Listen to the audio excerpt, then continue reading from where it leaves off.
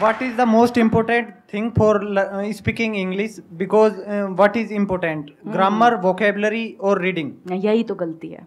आप लोग क्या करते हो ना इंग्लिश का ऑपरेशन कर देते हो। उसके टुकड़े बना देते हो। ये रही वो इसको मैं कल करता हूँ। ये रही ग्रामर इसको आज छू लेता हूँ थोड़ा सा ये रही कुछ और ये कुछ और ये कंस्ट्रक्शन है ये सेंटेंस कंस्ट्रक्शन है। देखो हम इस पर बोलते हैं top down approach top down का मतलब ये होता है, आप ऊपर से देख रहे हो अपनी प्रॉब्लम को, ये जो प्रॉब्लम है, इसको आप ऊपर से देख रहे हो। प्रॉब्लम क्या है? मैं इंग्लिश नहीं बोल पाता हूँ या मैं इंग्लिश नहीं बोल पाती हूँ कॉन्फिडेंटली सोल्यूशन है सिंपल इंग्लिश बोलो। टूटी फूटी जैसी भी आती है, बस बोलना है। ये हुआ टॉप डाउन अप्रोच अगर उसका ऑपरेशन करोगे, चलो ग्रामर सीखने में मेहनत करूँगा, आज मैं एक्सरसाइजेस करूँगा ग्रामर की। ऐसे नहीं करना है। आपको ऐसे टुकड़ों टुकड़ों में भाषा कैसे सीख सकते हो? हिंदी क्या टुकड़ों में सीखी थी?